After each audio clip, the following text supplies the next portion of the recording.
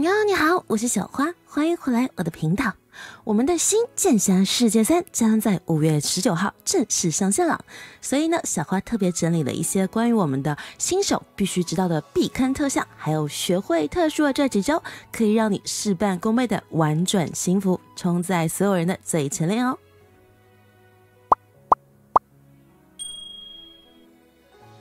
好的，在我们的开服前三天呢，我特别整理一些相关跟游戏有关的一些细节，希望各位少侠呢可以快速的适应剑侠的江湖啊，在新服中事半功倍的进行升级成长。下面给大家来整理了四点关于我们的升级攻略的部分，一个是常规升级，首先我们从常规升级来说。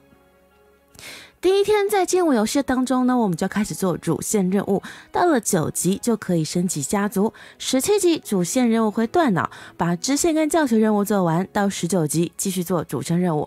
我们的这个主线任务呢，会显示在我们的左边。我这边是已经完全做完的，还有一些支线任务还没有做完呢。大家只要看到支线任务，照它的指示去做就可以了，非常简单理解。呃，这个完整的做完主线任务加支线任务，如果是连续做的话，大约不要半小时就可以做完。到达二十五级的时候，我会结束所有的主线任务跟支线任务。这个时候，你就可以和那个世界组队了。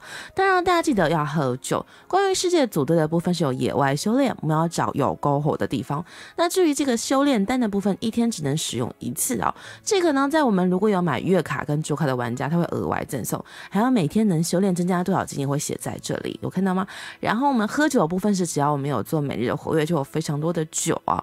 那我们的记得啊，去挂街时候。最好是四个人，因为四个人升的会比较快，还要记调整一下我们的呃我们的技能的位置啊。就比如说是易水到二十五级之后呢，它会有这个我们的穴位的部分，就是我们的奇穴一跟奇穴二，你要换一下，不用带奶的部分那输出就好了。然后记得啊，这个第一天要喝酒加用祝福石，祝福石就是这个，祝福石是用翠玉来购买的。我们翠玉跟元宝的处置方式是不一样，它有限购，每天限购多少个啊？就是翠玉的部分，但是我们一天上线其实一般挂机只有只有七个小时左右，最多会如果你有时间的话，可能挂更久。但他给的经验呢还是不错的。我第一天挂机的时候，在只开一点点，只开一个小时的情况下，我升到是二十八级。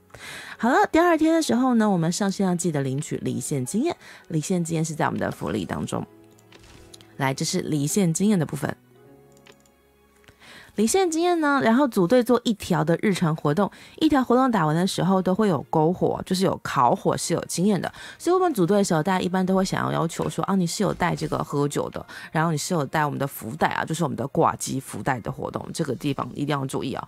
还有烤火也是有经验的。当你这个修炼，哪怕你不是月卡、周卡的玩家，这个修炼结束之后呢，只要有喝酒也会有经验。就是我在第二天挂机的时候，我完全没有做任何的任务，我只是想说挂机有没有经验。我的那个剩余修炼经验已经结束了嘛？可是我挂机还是升了一级，只是挂的时间比较长啊。好，到我们的这个第三天跟第四天呢，做的时间还是一样，常规的日常挂机就做完一条龙，因为这个时候升级开始变慢了。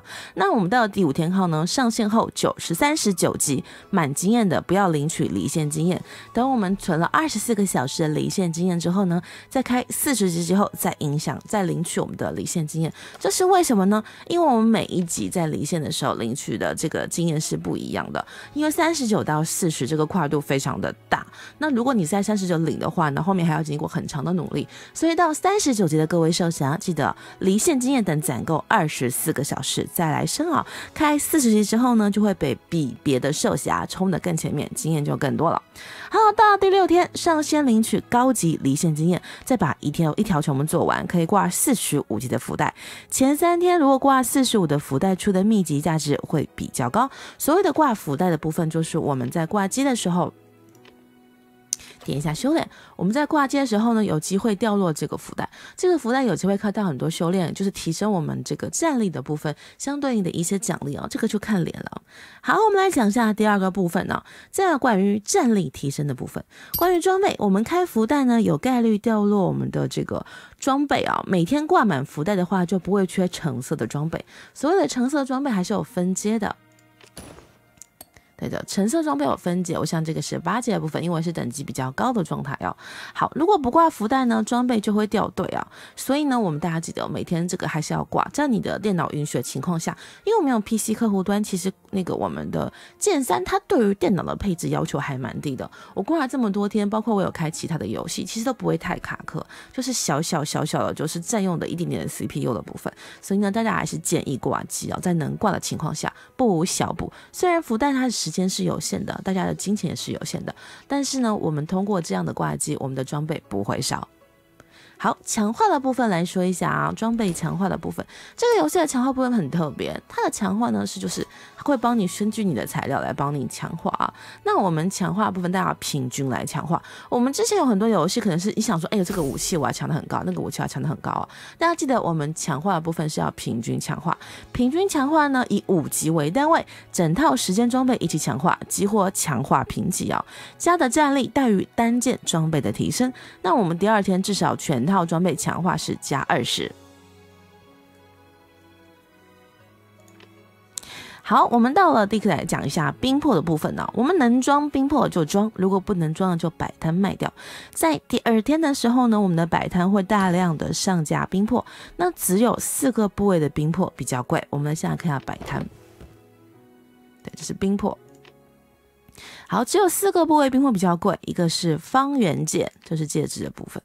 方圆剑，然后我们的中天碗，中天碗这个，然后我们的护腕，夜行带，下一个是夜行带的部分，夜行带。好，我们这三个的部位呢，在那个新区的大概价钱是一百到一百二十翠玉，那英丝链是六十到八十翠玉，这个大家后来再好好来了解一下，我们只是给大家做一下简单的提示啊。好，我们其他部位统一都是三十翠玉，就是它有的有的比较贵，那肯定比较贵啊！大家想要升武器什么之类的，所以大家特别注意哦。那三个绿色可以合成一个蓝色的冰魄，以此类推啊。那第三天想要上榜的话呢，我们这个排行榜的活动跟战力有关，至少有一套蓝色的冰魄。各位大佬玩家这边就要特别注意，要提前去准备了。到第六天升到四十级，可以合成紫色的四级冰魄。好，它是三个绿色合成一个蓝色，三个蓝色合成一个。我们的紫色三个紫色合成一个红色来做一下记录啊。好，五尊的部分呢，我们五个碎片呢可以合成一个对应位置一级的五尊冰魄，一个就可以提升两千的战力了哦。这个要升起来真的很耗费我们的这个我们的冰魄，所以大家特别要注意。好了，我们的这护法的部分来说一下啊，护法的部分其实我有测试抽过，我们这真的好看脸哦，就是我抽了半天才抽到嗯两个 SS。还有一个是怂的。好，我们冰魄的部分它有分这个我们的护护法的部分分银两招募跟元宝招募啊。我们的元宝储值是算雷储了，你买月卡的钱也是算雷储啊，这边要特别知道一下。抽不到橙色的护法，可以先用紫色的。紫色的护法呢，只需要培养婴童、玄照跟灵指。来说一下啊，我们这这个灵指是我们在完成大侠路的时候它会送啊。好，这是我们的灵指。婴童，来看到吗？这是婴童。还有一个是我们的玄照，我看我有抽到玄照吗？玄玄玄，好的，没有。你看这个多难抽啊！我操，我不喜欢看动画，看这个真的很看脸。你看，哎，抽到抽到了，抽抽抽到了！哎呦，谢谢您啊！哎呦，抽到了抽到了。然后就是我们的玄照，看我这三个来。如果一个都没有出的话呢，就优先使用高品质的护法。哎，高品质的护法应该离职，就是就是紫色的，就比较高在上面的。好，选择对自己有属性的护法，护主技能带攻击力量就可以直接用了。其他抽到想要的，可以直接用增援丹跟洗髓丹来培养。好，这是我们使用的，它这个升级是增援丹，看你的培养，培养，培养，培养，培养。好的，这个是技能是另外抽取的部分。下面来说一下装备洗练的部分呢。这个游戏我觉得最特别的就是装备洗练的部分了，因为我这个我已经全部洗上去了。当你有掉两把相同的装备的时候，我们不是有附加属性吗？你只要点击洗练，然后选择这个属性，然后。打进去就可以了。因为我像属性都是打满的，所以没办法被替换了。大家可以选择自己喜欢的，就是它会低的不能换高的，高的才能换低的。然后右边选一条，左边选一条，这个是没有一键的，所以呢按起来其实有点麻烦，但是时间花的比较久，也能选择自己相应的属性。所以提升属性没有关系啊，你就是换，你就算升级的话呢，也可以换新的我们的这个属性，所以慢慢来就好了。不管是什么品质，我们先把六条属性都洗满，就记得把这个六条属性全部洗满，管它是什么，我们到后期才才能去选择属性，前期是没有办法选择的。好，我们来说一下秘籍的部分。秘籍的部分，输出职业可以选择天山六阳掌、紫霞神功、太玄经和落英神剑掌，二选一啊。防御职业用太玄经、洗髓经、凌波微步啊。系统会送的逍遥游和洗髓经，输出职业一定不要给材料，因为它是系统送的，这个应该很好理解吧？好，这是秘籍的部分啊，这个我现在还目前还没有，要去秘籍商店。好，这是大家说了仪式的这个部分来，这个每周这个都要买啊，要要诵经正常，所以大家记得参加。好，这个秘籍的部分呢，对我还没有，看到没有？这个我们的落英神剑掌，靠没有，这是靠活动来获得的。还包括这些要看到吗？对，这是详细的部分。这个后面大家再详细去扣，是做一个提示啊。那日常活动在千机楼呢，会有概率会给飘渺凭证哦，买秘籍用的飘渺凭证，这是逍遥游，这是飘渺凭证，哪一个是飘渺凭证呢？这个我还没有打到这么细啊，因为太后面了。好，这是做一下提示就好了。下面来说一下坐骑铸魂的部分啊。好，坐骑的部分我们来说一下啊，这个是不管你喜欢哪只坐骑都可以啊。如果你不打算买坐骑的话呢，我们就直接去就铸回我们的大选。我们在主线任务做到的时候，就会送你这个坐骑了。从第五天开始呢，战力的拉开差距是橙色坐骑铸魂三十级。好的，橙色坐骑铸魂三十级，看到了吗？我们可以通过身心来提升它的品阶，还有装备啊。好，那头衔的提升呢？百里令的部分呢，我们的这个头衔是百里令，也可以在家就活在家族活动中获得。我们的百里令的部分呢，就是从四十级之后挂福袋也会产出，不一定要通过拍卖，因为我们这个没有参加这个家族的活动，所以没有这个升头衔哦。这个慢慢只要存就可以了。通常在不花钱任何的白票的小伙伴，你们都可以升到坐骑。好，来说一下关于这个资源的获取的部分呢。首先就是官方给的我们的福利领取的兑换码，我们的福利的领取兑换码，我之前。找了有点久，其实应该蛮好理解，可是我也不知道为什么我可以找这么久。好，我突然间又又又又又找又找不到了，有点好笑。好了，这个福利的领取的方式在其他福利啊，使用官方的这个兑换码可以获得激活码，在这里领取，在福利的其他福利当中啊，这要大家关注我们的 FB 啊，就是我们的新剑侠世界三的 FB，还包括庆新服的活动福利，还有包括左上角的变强，我们这些左上角的变强也会有福利。对，他会有给相应的福利，当他有提示的时候，大家记得去领取就好了。还有奇珍阁的周限购的奖励，周限购优先购买绿玄金，就这一个优先购买绿玄金。其他材料一周内买完即可，就是这些限购的部分，在你能买的情况下叫限购的部分啊，把能买的全部买完。对，把这些能限购全部买完，这都是要用的。好，这是买完就可以了。那多蹭分红，多蹭分红，多蹭分红就跟我们的这个活跃度有关系啊。大家只要参加我们的帮派，中午十二点三十到中午十二点四十五，晚上的七点三十到七点四十五，所有的活动就能分红啊。还要包括九点半的三彩首领，这个都是可以无脑挂机参加的。这分红是一百五十元宝到五百元宝，所以哪怕是白牌的玩家，你都可以完成啊。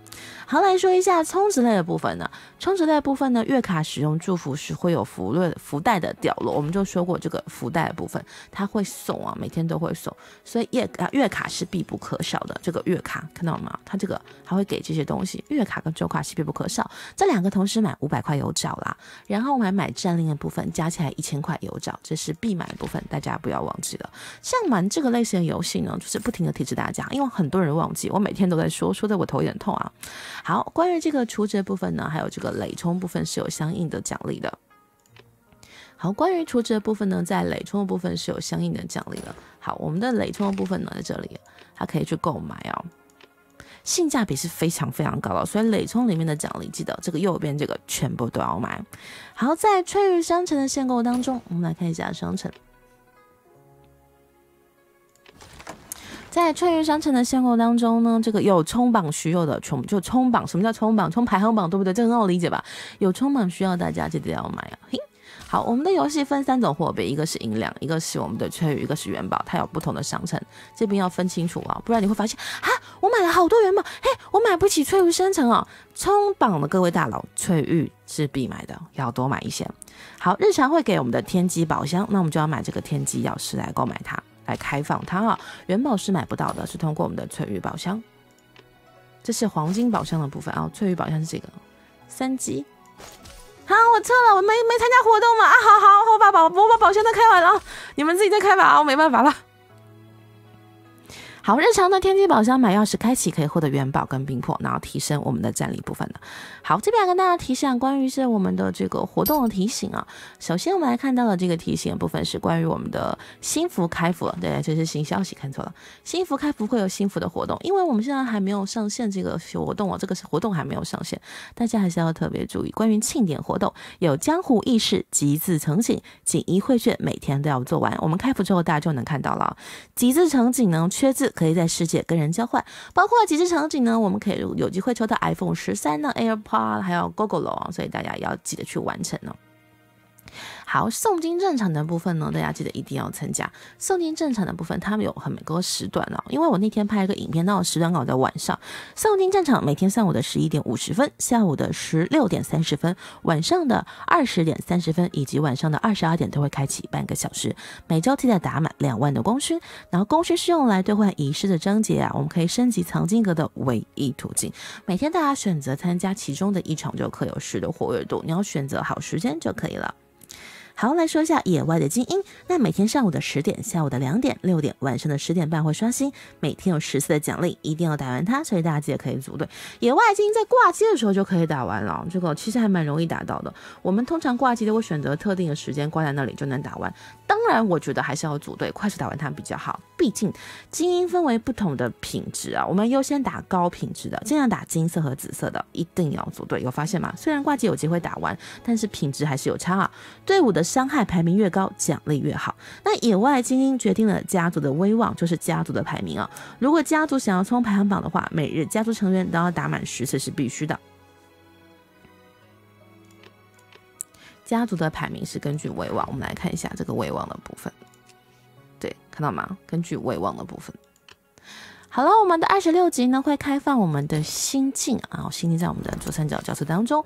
心境开放后，每周五个任务一定要做完，就点这个，然后点，哎呀，错了，错了，错了，错了，错了，错了，错了，我不要下去，我不要下去，嗯，好。点心件部分呢，还会有任务需要做完，在这边每周有五个任务，我们要把它做完，尤其是做最高的啊。然后诚心券送给同一个名士就可以了，属性加成是一样的，所以我们只要选择同一个人送他明星券就好了。大家也要记得，我们的这个需要激活，延长七天，行进商店每次只每天只能买一次。如果你不做任务，怎么可以延长它呢？这个跟活跃度非常有相关哦，它不是说你花钱就可以买到，这个设计非常的特别。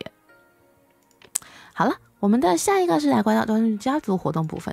家族活动呢，我们在别的影片有跟大家分享过。关于家族活动是每天的七点三十到九点三十之间，晚上的十十九点三十分到二十一点三十分时段呢，打完冥侠讲武三才首领家族拍卖结束会有分红哦。这种有元宝的分红的家族活动，尽可能都要参加一下。什么叫尽可能？是必须要参加好吗？怎么可能不参加呢？这是必须要参加的好吗？好，再说一下白虎堂。白虎堂开启击杀模式的时候，不要落单，和家族人一同抱端抱团哦，听从指挥，争取留到最后一层。其实白虎团这个活动，我之前有进去过，然后因为嗯，就是乱玩，还有因为 就是小号，就是小账号的情况下，所以很乱啊。就是这个看到吗？这个，他其实进去的话，其实我是乱打了。好了，以上的内容就是关于我们的一些就是新手对于开服的各位新手下起来的初期建议了。就是如果你有觉得你有别的新的就提供参考的话，也可以作为参考了。我说的还是会有一些纰漏的部分，如果你想要补充，也可以补充啊。好了，以上的部分就是关于我们的新手开服中怎么样玩转新服然后快速成长的一些小提示，希望对你有帮助。如果你觉得我影片对你有帮助的话，可以帮我订阅、分享、按赞、加吧，并且开启小铃铛。那么。我们下个影片再见啦！